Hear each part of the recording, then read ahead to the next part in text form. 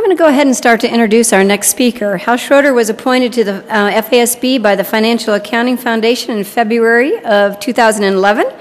And his appointment was part of a, an expansion process that occurred at the FASB at that, five, at that time as they moved from five to seven members. Hal is very important to us um, in many respects, but in today specifically because he year, brings 30 years of diverse experience in investing and financial reporting. Um, most, notably, most notably, before he came to the FASB, he had spent 15 years in all different facets of the investment community, and he has been involved with um, preparation of financial statements and the application of accounting standards from varying perspectives, including the auditor, preparer, and the investor. He'd also been a partner at Carlson Capital, which is a Dallas based money management manager with assets and management of over $6 billion. Um, he has also spent, you know, just a tremendous bulk of his career in the invest investment community and also in public accounting. So he really can be the voice of that very important group as he comes today. And he also, just to add a kind of maybe the frosting on the cake can also speak about it from the standard setting perspective, which is so important in what we're doing. So, with that, I'd like to welcome Hal to the podium.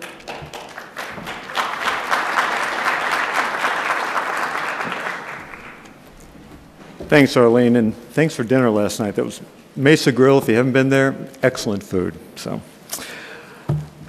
it's great to be back in Vegas. It's been a while, but uh, I have to tell you, as I was walking around this morning, and I did a nice tour. I wanted to see what had happened in the last few years, all the new construction. I, I had these haunting voices in my head. Oh, you hedge fund guys, you're just like Vegas. You're only gamblers. I used to take offense at that, but then I realized these are people who just do not appreciate what a hedge fund is, and they don't appreciate, in some respects, what Vegas is. In my way of thinking, both Vegas and hedge fund world, investment world in general, are simply businesses. They're no different than any other business. And when you think about it, hedge funds, casinos, any business, it's about tilting the odds in your favor. It's about making money. It's about doing it in an efficient manner and in doing it with a finite set of resources. So you're going to hear some of those themes as I talk today. Um, Arlene has asked me to talk about a couple things, two main things though.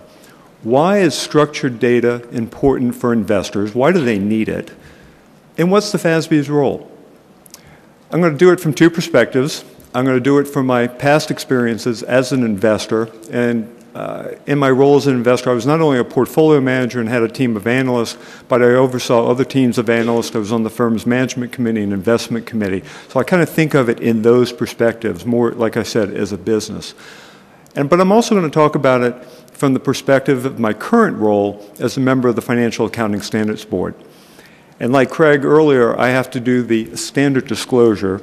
And since I have our communications director in the audience, I usually kind of go through it quickly. I'm actually going to read it today. Um, the views expressed today are solely my own. Official positions of the FASB are reached only after extensive due process and deliberations. What he doesn't know, I'm going to say, is if you've ever followed a project of the FASB, you know the word extensive is an understatement. Before I had ever heard of XBRL, and I have to admit, I did not hear the term until I joined the FASB two and a half years or so ago. Um, I was a big fan of structured data. But let me tell you a little bit about the reason why. When I first became a portfolio manager, every day around 5 o'clock, I received on my desk a very large legal sized document, about 200 pages long. And what it did is it summarized every position in the firm, how we were doing on each one, it was an absolutely critical document. But frankly, in a, in a paper context, I could not get through all the positions. So what I ended up doing is I found my five or six pages and took an Excel spreadsheet, and once a month I went through my positions, keyed them in, and tried to analyze what I was doing. Now, I can tell you I'm pretty good with Excel spreadsheets. I still made a lot of errors and I wasn't always consistent from period to period until I ha- in terms of how I classified things. But it was good enough for what I needed, and in fact, it was apparently good enough that my boss noticed it and he liked what I was doing. The performances were good for our team. Uh, he called me up, literally a very late night call. I was watching a Knicks game. And he says, I need your help. I need you to help turn around the performance of some of our other portfolio managers who are not doing as well. I said, sure. It was, it was somewhat the, uh, the offer you couldn't refuse. And I flew down to Dallas the next day and we started to talk about what we needed to do. And on that trip down to Dallas, I really started to realize that the 195 pages of that 200 page document, the 195 pages that I had been ignoring, were all of a sudden extremely important to me. I also knew what the effort was to do it on, uh, summarize it on a once a month basis and the number of errors I had. So I had to come up with a very different solution. So a little panicked, I got hold of the IT department and they sat down and I started talking to them. They said, look, every position the firm has ever held from 1993 to today has been electronically tagged. Oh, interesting. So I, I explained my vision of what I wanted. I wanted a multi-dimensional cube of data that I could turn and, and look at from any direction. When I would talk to our outside investors, I'd actually refer to it as CAT scans. I wanted to be able to take very thin slices of anything we were doing from any direction and know what the flaws are, know where the, the cancers are, if you will. Well, I know how IT works. I figured a couple months they'd come back to me with something that didn't work. Well, I have to tell you, I was shocked. The next day, a gentleman called me up, a techie called me up and says, I got, I think, what you want. And I sat down and looked at it with him, and it was not only everything I wanted, but it was more. What I did not appreciate at the time is that he was an Army reservist. And he was basically working on a project for the military that analyzed large quantities of data, and you needed to do it very, very quickly. What I then learned was that he was analyzing that large data, analyzing uh, improvised explosive devices or IEDs for, and how they were being used in Iraq and Afghanistan.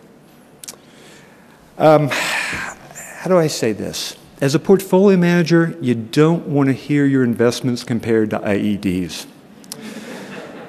but I got over it. As I looked at what he had developed for me, I I really came to understand the tremendous power and knowledge that was being put in my hands by being able to twist and turn this three dimensional cube. What we ended up doing is dramatically turning around the performance of the firm. We went from having withdrawals to having cash inflows from outside investors. We went from having mediocre performance to having award-winning performance for the next several years. And it was a dramatic turnaround, and the, the nice thing is we actually had ended up having a waiting list. So before um, I joined the board and started to hear some of the concerns, I was a big fan of XBRL type structured data. So I was a little puzzled in joining the board as to why I was hearing so many negative things about XBRL. And the concerns were generally being expressed directly from company management. It's one of the nice things, just like uh, as an investor, I get a chance to talk to CEOs and CFOs. I get to talk to a lot of CFOs, controllers, uh, chief accounting officers. And pretty consistent message was, um, why do we have to do XBRL? It's expensive, and no one uses the information. Hmm. Well, they, they come to that conclusion why the, that no one uses it because investor relations, and I talked to a lot of investor relations over the years, investor relations says no one ever asks about XBRL. It's confession time. In 15 years, I never called IRs and asked them about XBRL. As I've jokingly told Louis Matherne, I didn't even know how to spell it. So, you know, you can't ask about something you don't know. But that's not to say that I was not using tagged data. I was using information from data aggregators. I just didn't realize the connections and all of how it comes together. So my response has been to the senior management and board members, um, you know, any institutional investor out there is probably using tagged data in some portion because they're pulling it from aggregators.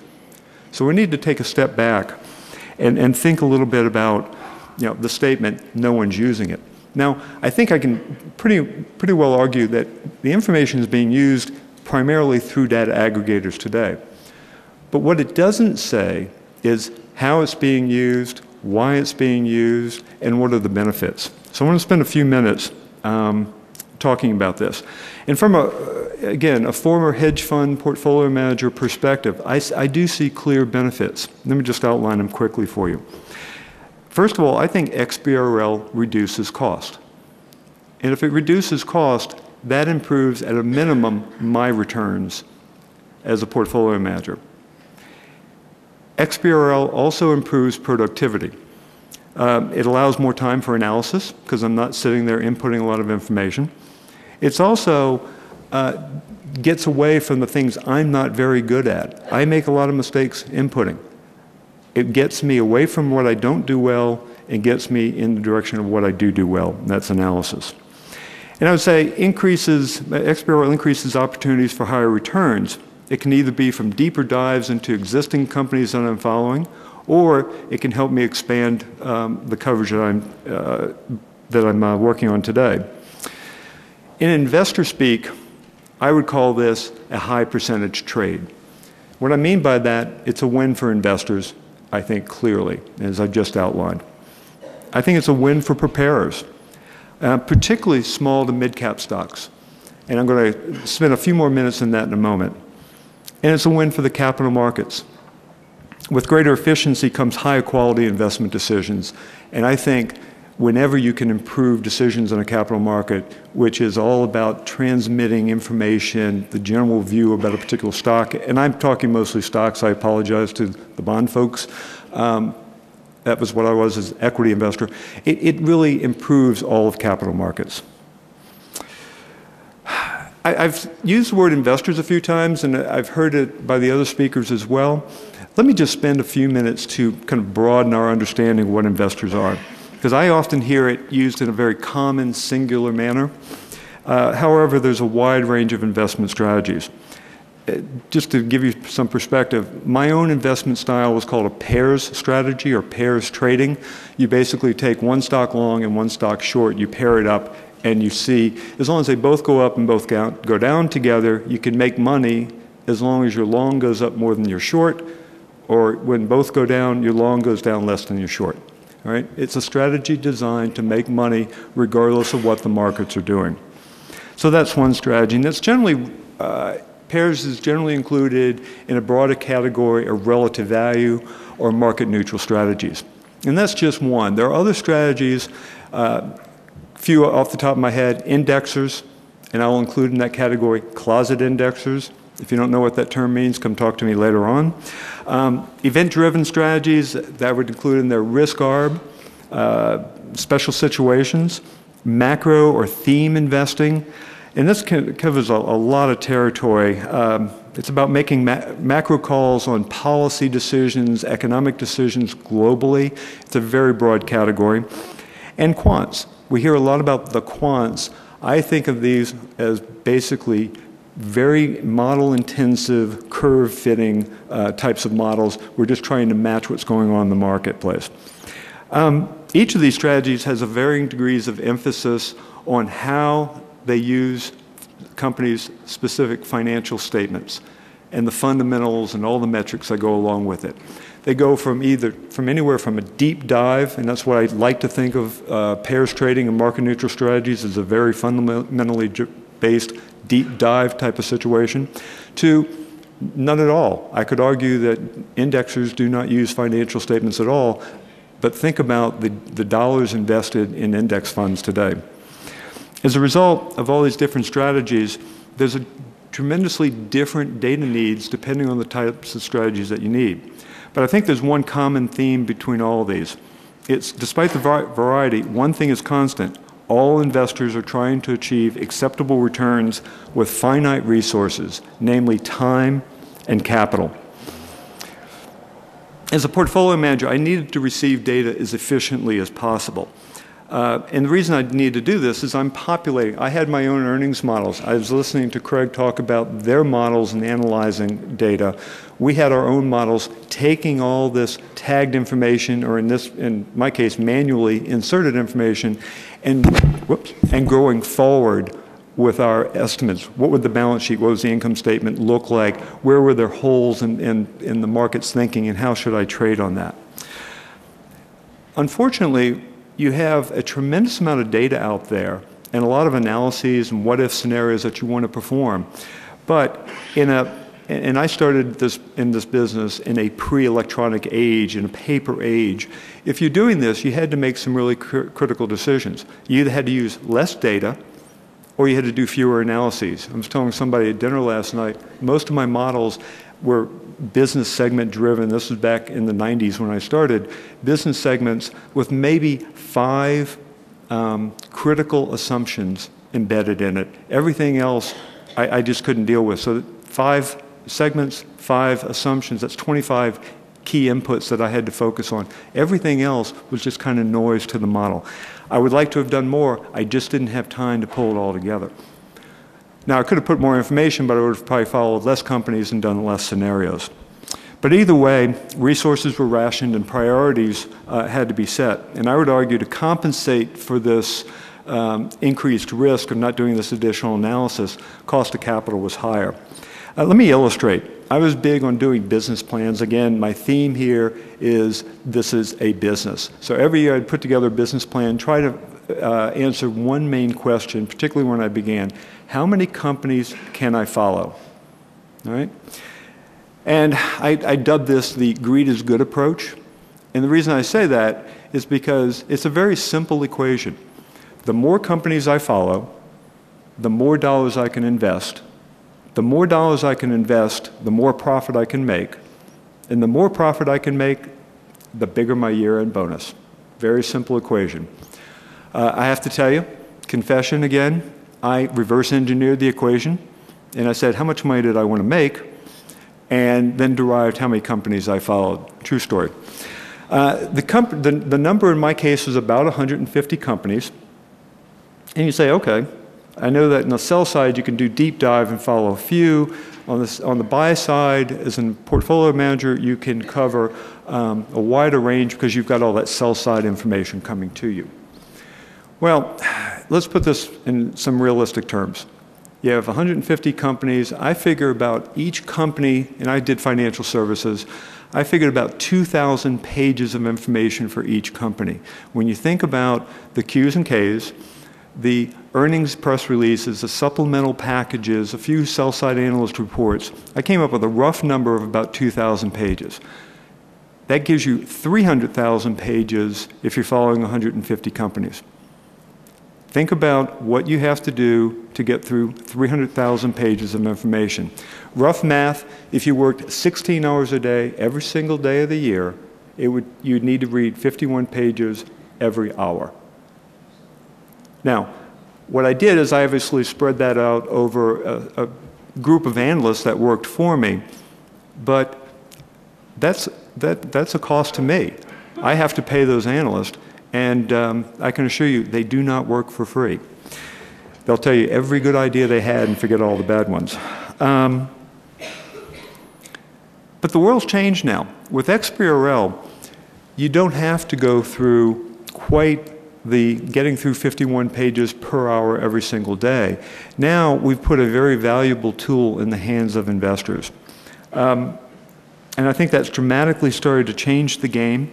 I think that um, you know, it, it's going to make it easier and less costly to cover uh, mid-cap and smaller cap uh, stocks. And I think that, you know, I can certainly do deeper dive, but I think that one of the things that I've learned as an investor is you can get much higher returns in these less followed stocks. So by being able to reduce my cost and get into these smaller cap stocks, you know, I can get the higher returns. Now, I could have always done that. But what I had was limitations on the percentage that I can invest in any individual company, say one, two, three, four, five percent.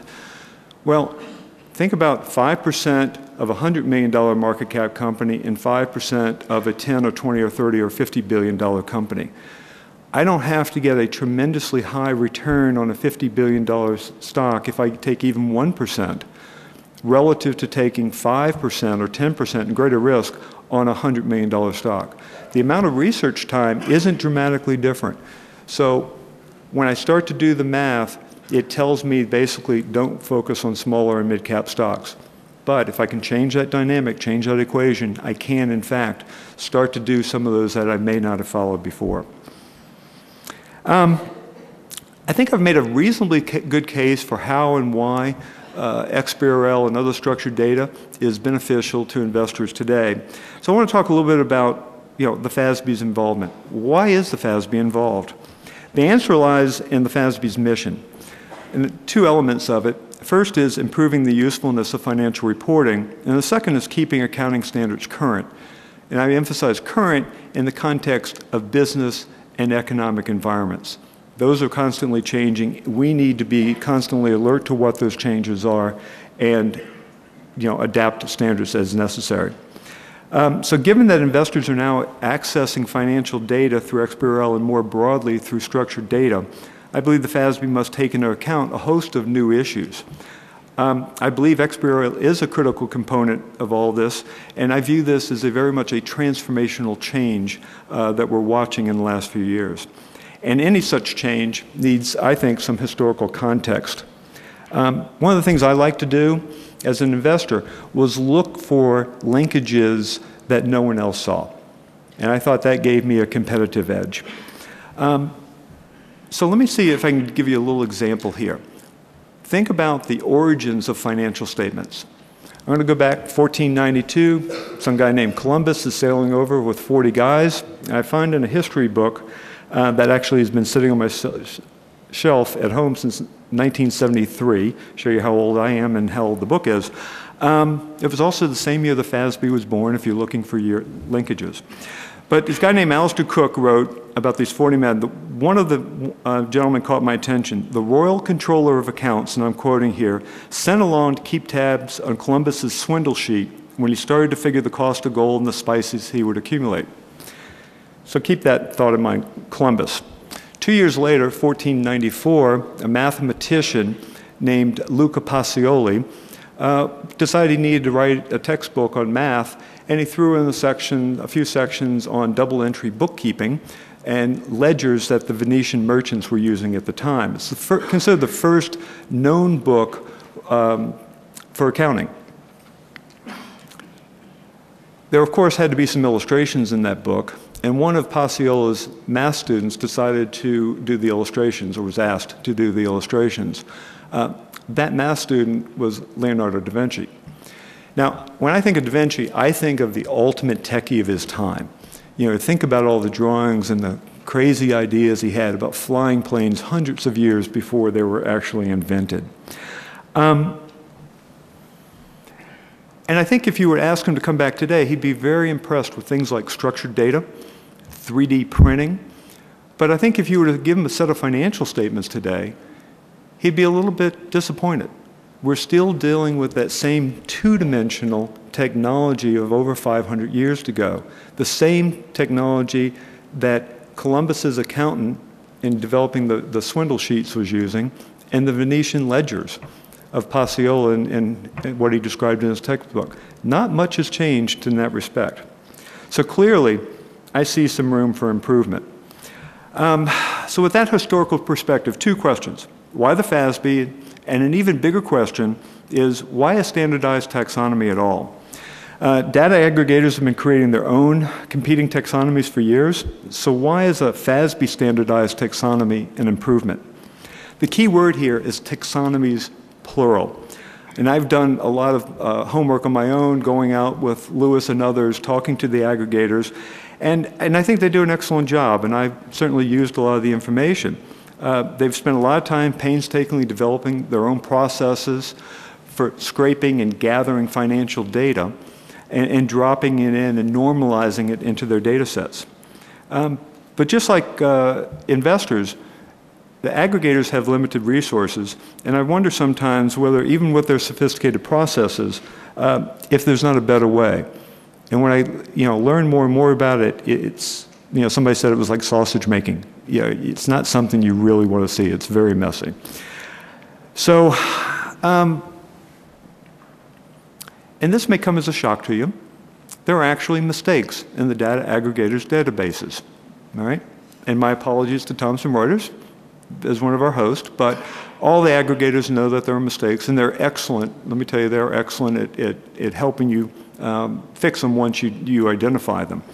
Some have even rewarded us for uh, identifying the fixes for them. Um, it wasn't much compensation, I assure you.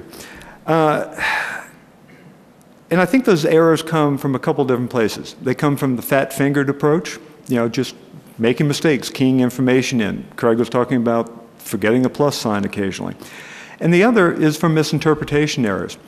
And I made a lot of those as well. And here I was, I, I had a CPA, uh, I had been in the industry, and I still didn't get the classifications right all the time. And I had to work on that. Um, the problem with these errors, though, is that quite often they're hard to find and they're even harder to fix once they're in a system. Because not only did they have to fix it for me, but they've got to fix it for every other person out there that's using the wrong information and maybe taking the other side of a trade. So think of it in that context. You can correct it in your database, but once you've pulled the data, aggregators you know, will send information to investors and it's gone off into its other databases. And sometimes getting it all fixed um, eventually it'll get fixed, but it can take some time. But worse, if you have, if you make trades with these erroneous information, you lose money and there is no getting that money back. Um, another issue is are there errors and inconsistencies in XBRL tagged data? Absolutely, uh, but the errors are declining. Uh, this improvement comes in, I think, no small part to the effort that you know folks like yourself in this room today. A lot of your hard work and diligence is really improving the process. I think there's also a clearer understanding of the tagging processes. Um, there may also be some incentives. One that comes to mind is the um, expiration of safe harbor. So having a standardized taxonomy should pay dividends in terms of timeliness, quality, consistency, and cost effectiveness. But I think the bigger benefit is that it allows for uh, the preparers of financial statements to actually take control of their financial statements. Spend a second on that. I believe that controls is critical in this di digital media, media age, given the prevalent use of Excel-based spreadsheets and other data models. Um, while investors may read your paper-based financials, a more robust analysis, particularly by institutional investors, is clearly done in the digital domain. Uh, the investors get the data either from an aggregator, as I've said before, or they go uh, through the same manual process, and I certainly did a lot of this myself.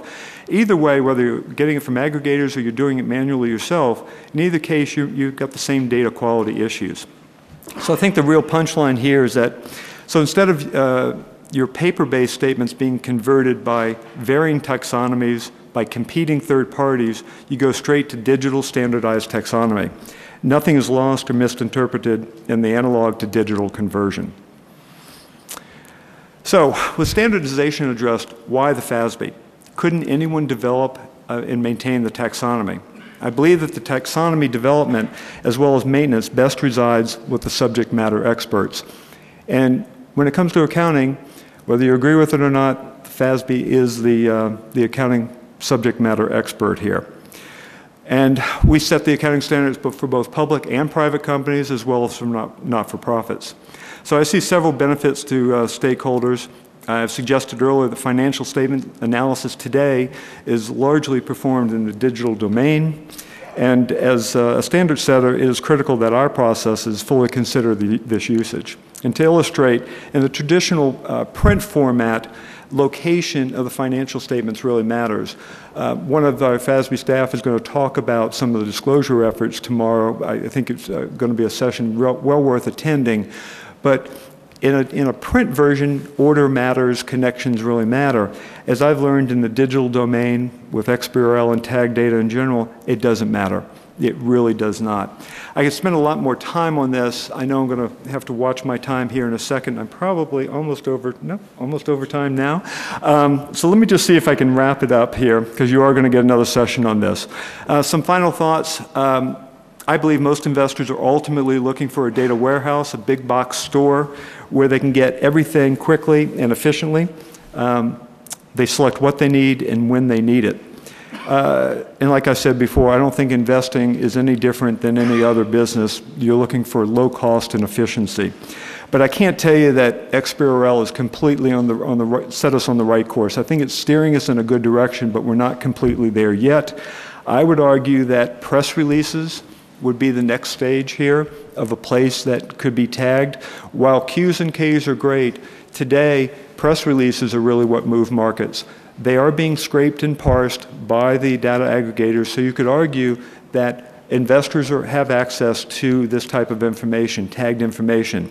But again, I go back to this notion of control. If you control the information, you can better control the message. And in this day and age of, of digital uh, domain, I think in, uh, this is absolutely critical. And I would put this high up on my next wish list. Um, let me just end it there and see if there are any questions, or if you want to keep on time, I understand.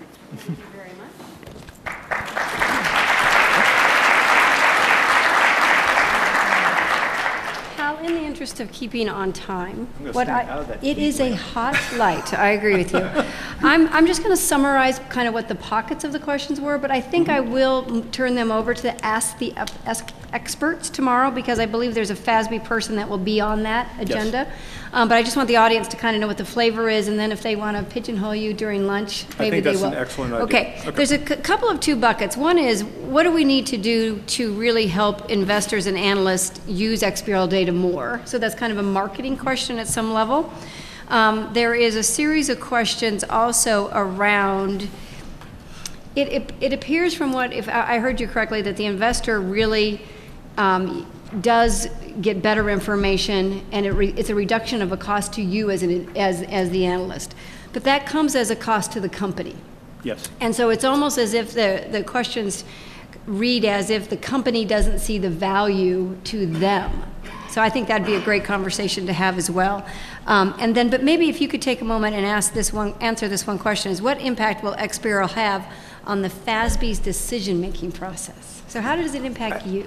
And I think that you're going to get some of that discussion tomorrow. Okay. But Let me just give one quick example. Sure. We quite often have a debate about tabular versus narrative disclosure. Okay. And there's a tremendous debate here because, well, as an investor, I would tell you tabular is always the way to go. It's quicker and easier for me to consume the information. The counterpoint to this argument, and I've heard from preparers and auditors, is the degree of, quote, accuracy that these tables require. And this is a lot about materiality in a debate that's way too long. I think XBRL has largely negated that discussion at the board, as I've learned that whether you put it narrative or tabular, it ends up in the same place. It ends up as tabular. So I would just use that as one simple, quick example. Um, since I've joined the board, we see it more and more at the table with the XBRL team actually sitting there at the table when we're debating and discussing these issues. Okay, thank you. And there's one last area, because I did think this was provocative, so I want to apologize for missing it. You talk about the big box store of data.